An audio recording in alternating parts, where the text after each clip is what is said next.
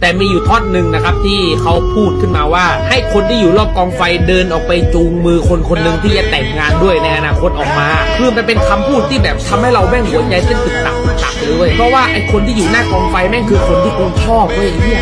เขาเขาเขาเขาคือคนที่เราชอบเว้ยซึ่งในตอนนั้นน่ะมันก็ค่อนข้างที่จะมีข่าวลือว่าเพื่อนในห้องของน้องอายเขาก็ชอบน้องอายเหมือนกันอะไรอย่างเงี้ยเออแล้วก็มีเพื่อนของน้องอายนะครับที่ที่อยู่ที่อยู่ห้องเดียวกันนะครับก็พยายามผลักเพื่อนของเขาออกไปนะครับตอนนั้นนะผมก็ค่อนข้างที่จะ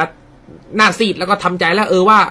ไอ้เหี้ยเขาคงจะไม่เลือกเราหรอกเขาคงจะไม่เลือกเราหรอกนะครับเขาเขาเขาน่าจะมีคนที่ชอบรุ่นเดียวกัน หรือว่าเขาเขาอาจจะโกรธเราหรืออาจจะเกลียดเราที่